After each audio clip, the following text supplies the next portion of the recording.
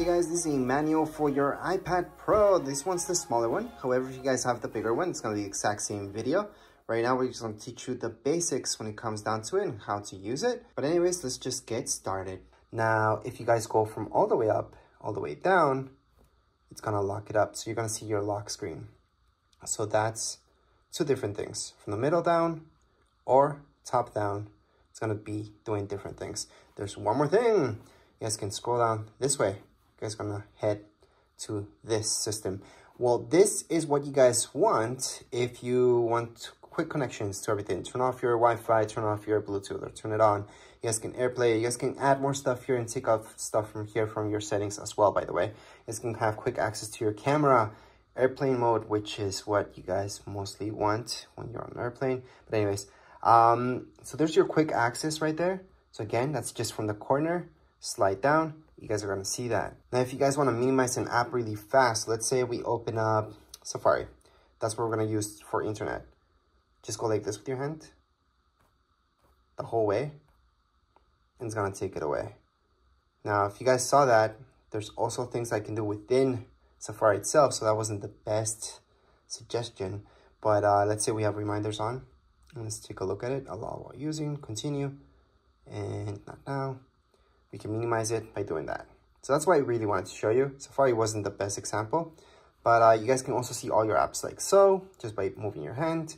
And if you guys want to close them, fully close them, not just minimize them. Right now they're minimized. They're still actually working in the background. So let's say you guys have a bunch of apps opened and you don't want to just minimize them. Go like that, slightly.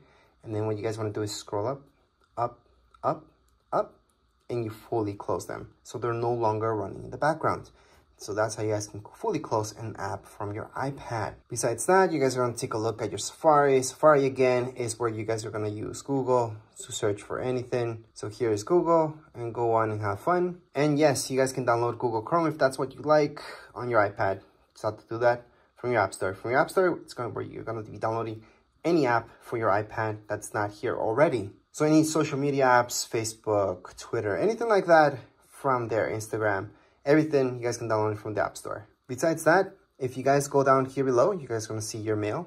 If you go to your mail, you guys can import anything. And to import your mail, all you guys have to do is log into it. So for example, if you guys have Google, so Gmail account, just put your Gmail right there. It's going to ask you for your password.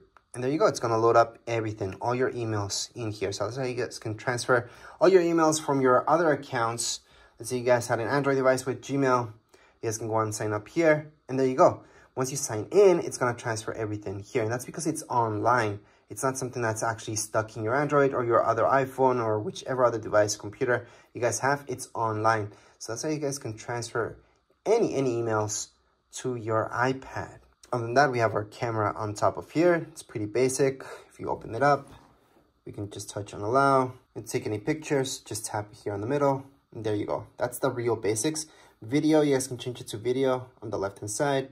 Video, start video, stop video. Remember to just tap once. I've seen a lot of people when they're in picture mode, hold on to this, hold on to it. It's gonna take a ton of pictures, which can be fun, but what you mean really mean to do is take one picture. Now, other than that, the pictures that you're taking on the top of here, you guys gonna notice it's live mode or live mode off. Live mode means that it's almost like a video that it creates for you when it's live. So it's really nice to have live on, but some of you might want that off. Because again, it is taking a little bit more memory if you have live on, but live off will just take a normal picture. Whereas with live, it's almost like a video and a picture at the same time. From here, you guys can set up your timer as well for 3 seconds, 10 seconds. Your flash, you can turn it on and off or have it automatic. You guys can flip. So you guys can view your front camera as well from here. So that's going to be down here below. So if you guys tap here, you can choose your front camera. So right now it's my, using my front camera instead of my back camera. That's going to be using my back camera and my front camera so I can view myself in it. So you guys can see my hand there and that's because it's right in front of my camera. And you guys can actually do that from within FaceTime or from within other apps as well. You guys will see this so you guys can flip between the two cameras. So those are the basics when it comes down to your camera on your iPad. I know a lot of people use their iPad to take pictures. I personally don't like using my iPad to take pictures. It's just too big, even the smaller sized iPads. And especially with bigger size iPads, it's really uncomfortable. From there, we got Apple TV. That's a hub. This is a hub where you guys can see a bunch of channels, not just Apple TV. Apple TV Plus is a channel. And you guys can subscribe to that. You guys can accept the free trial as well if you get this is brand new. And there's a bunch of stuff in here that comes included within this channel. However if you guys want to search up let's say netflix and all that stuff you guys could look up that stuff from here as well because this is just a hub. Now again i'm talking about the hub the apple tv app itself. Apple tv plus is a channel so it's very good to know that difference. Anyways just get out of there. For news it's pretty self-explanatory. You guys are going to see magazine subscriptions that you guys can do here. There's a bunch of free stuff as well. You guys can look up news. So it's kind of nice to do this. There's a bunch of stuff that's free plus paid. So it's a nice app that's available at the moment. For books, you're going to go into books. And then from here, a bunch of books are free. And there's a bunch of ones that you guys can download also paid. Now, as for maps, these are the maps you guys get. However, Keep in mind that you guys can download Google Maps here as well, so you don't have to use the maps that's provided by Apple. Now, podcasts, on the other hand, let me just tap on here, are exactly that podcast. These are free. So you guys can go on and listen to anything here, just play it away. And if you guys go home, you guys can see all your shows if you have anything yet. Of course, you're new to this, so you don't have anything yet, but you guys can go on and browse and search up anything you like. Now, as for files, once you get started downloading stuff, this is where you guys are going to find all your files. So iCloud Drive, so that's going to be everything that's in your iCloud. However, you guys can have files just in your iPad, not in your iCloud, so it doesn't take up space there. Recently deleted, that's your garbage, obviously. And let's keep in mind that in my iPad, you guys can make folders. To make a folder in here, just click on this folder sign right here. Name the folder anything you like. Click on done. That's your folder. You guys want to get rid of that folder, hold on to it. From here, you guys going to see these options. Delete folder. That's how you guys can delete any folders from your iPad. There's also ways to view your folders here. So let me just create a few folders. Just one actually. And then I can view it as a list. I can also change this to view as a column. And I have all those options. I like icons, so I'm gonna leave it as icons. But again, we can always delete or create more folders. You guys are gonna see all the options here. You guys can duplicate your folder as well. So make a copy of it. Uh, other options that you guys will notice here is compressing it. I would not do that from your iPad, by the way, but it does work. You can add any tags. You guys can copy it, move, share. So if you guys want to share one of these folders, just click on share. You guys can go on and airdrop it to another iPhone, iPad. You guys can mail it out to somebody.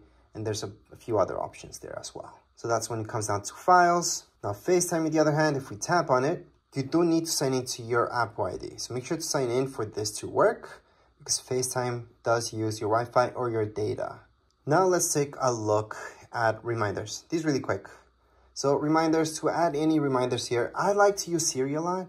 So I usually tell, hey Siri, remind me of this. It's gonna add my reminder or add an event. I always talk to Siri. So I highly suggest doing that, especially for alarms as well, just talking to Siri. But if you need to add one manually, you guys can always do that down here below.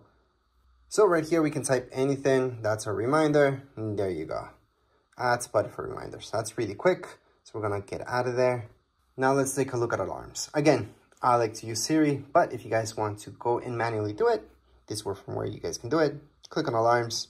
Once you open up alarms, you're gonna see this. Click on the plus sign on the top right hand side and add any alarms that you like.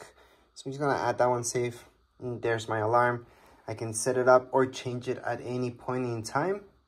But again, set this up, you guys can use Siri for sure. I highly suggest doing that. You can use Siri for a bunch of stuff, so you don't have to manually do it. But if you have to, that's where it is. You guys also have your stopwatch here. You guys can start it. You guys can record that lap, second lap, stop at any point in time.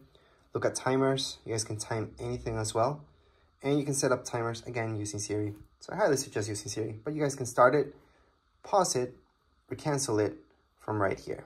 So again, you guys can start anything, any timer, or stop it at any time. World clocks. You guys can add any clocks here if you like. So that's the plus sign on the top right hand side of your screen. You guys are going to see the plus sign.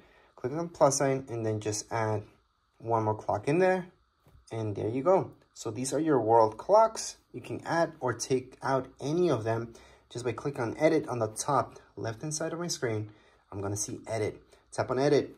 You guys are going to see that minus sign and then click on the minus sign. Well, tap on the minus sign on any of these in order to delete them. So I can delete, delete, delete. Usually there's too many of these that you guys don't care about. And we can definitely delete all the guys that you guys want and just keep the ones that are important to you. So let's just keep that out of there. Contacts is where you're gonna have all your contacts. you guys can just add manually your contacts. You guys are gonna see, you can put your first name, last name, company, add your phone number, email, and then just keep adding any contacts. Hopefully you guys don't have to do this manually. You guys imported your stuff, but if not, you guys can do it from here. Other than that, your messages. So this is iMessage iMessage uses your Apple ID. That means it's using internet, it's using data. It's not an actual text message. So whoever has an iPhone or iPad will get that message if it's an iMessage. If somebody has an Android, they will not be getting any iMessages, especially from iPads. If you, have, you guys have an iPhone, you guys have a data plan or not, the person that you're sending that text message to is going to be sent as a text message to Android devices and usually as an iMessage to anybody that has an iPhone. So that's the difference between the two. Now, when you're talking about iPads, we're just talking about iMessages. So make sure to sign in and then just send any iMessage you like. All your pictures will be kept here. See this? That's your app. Allow, continue. And here we go. Remember those pictures that we took in recordings? This is where you guys can play them or delete them. So to delete any pictures from your iPad, hold on to it, delete. There's other ways to delete this as well. If you guys want to delete a ton of pictures, press on select, choose all of them, delete. So we just deleted everything. If you guys want to recover any pictures that you deleted from your iPad, it's pretty simple. Go back here.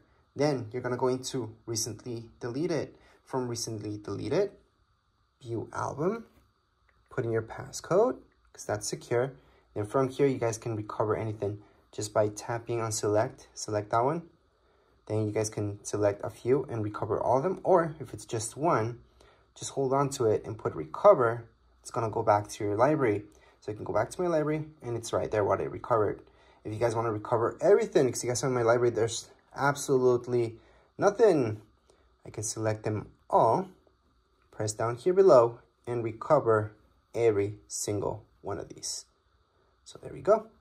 Go back to library and they're there. Now let's say you guys don't want to recover, you guys want to go on and fully, fully, fully delete these guys. We're gonna delete them again. And I'm gonna show you that in recently deleted, that's where you guys really want to truly get rid of these pictures. Don't want any evidence left. you guys are gonna go into select, select them all, go down here below and delete. Or you guys can always go on the top right hand side. So let me just focus in that better. Or you guys can just go into select and just select two of them if you guys want to just delete two of them forever. So delete from this ipad.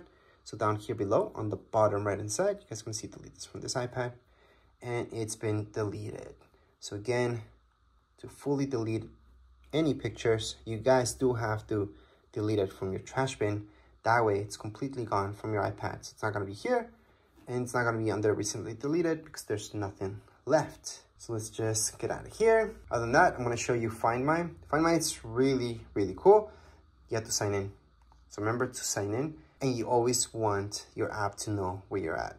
So you can track where you are at.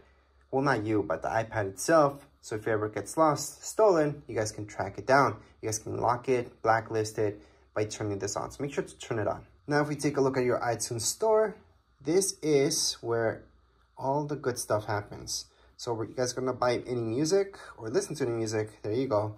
Same goes with movies. All right, and you guys can go to TV shows as well. So this will give you the option to go to store. It's gonna direct you here so you guys can buy this. But it's very important to go here and that's because it's going to give you this option for purchases where you guys can look at all your purchases. Again, you have to be signed in. Besides that, you guys have your notes this is something that I use a lot. So you guys can add any notes just by go ahead, tap away, start typing. Or if you guys want to draw within here, you guys can also draw. You have an Apple Pencil, you guys can draw with that Apple Pencil as well. But you don't need an Apple Pencil, you guys can just draw yourselves.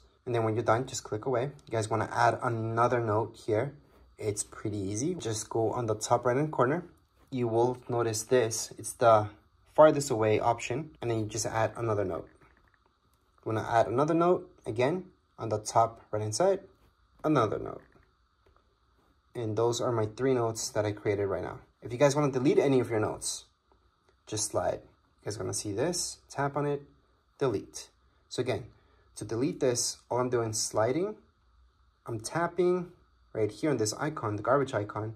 It's to delete that. Same thing goes with this and delete it. So that's how you guys can add any notes and delete them. There's other options here as well. I'm just a little bit more into it. Just play with it. You guys are just to notice what you guys can do. And lastly, we should take a look at your calendar. This is different than reminders. This is where you guys can go on and put in any major alarms that are going to repeat themselves throughout your calendar year, such as birthdays and all that stuff. To add anything like that, see this plus sign? That's where you're going to go. Type in birthday, for example. Then if it's a birthday or anything like that, you guys most likely will choose all day. And most likely you want an alert one day before. You can add a second alert two days before, one week before, or on the event, depends. Add it and it's being added. So that's how you guys can add any events to your calendars. You guys can also take these away just by holding onto it, delete, and it's been deleted from your calendar. So that's how you guys can delete or add anything to your calendar. And last but not least, to search for any apps, besides going all the way here and just looking at them, you guys can tap here and search for a specific app, such as books. So there you go. There's books, gonna find that. So that's for specifically for apps. And if you guys want to add any widgets to your screen, you guys can always just hold on. You guys are gonna see the plus sign on the top left hand side and add any widget you like. I'm just gonna do batteries for now. And there's my widget for batteries. That's if you guys wanna bring back any widgets into your home screen. Or you guys can move this as well. So edit home and then just move this to your secondary screen. Doesn't have to be in your home screen. It can be here. So there you go. That's the difference. So you guys can have your widgets there as well. Obviously, you guys can delete this at any point in time just by holding on, minus sign, remove, done, or just click away and you're done. But anyways, this was a quick manual for your iPad. Doesn't really matter which iPad you guys have. This will apply for all of them. If you guys have any questions, comments, you guys can write down here in the comments area. Don't forget to subscribe and like. Thank you.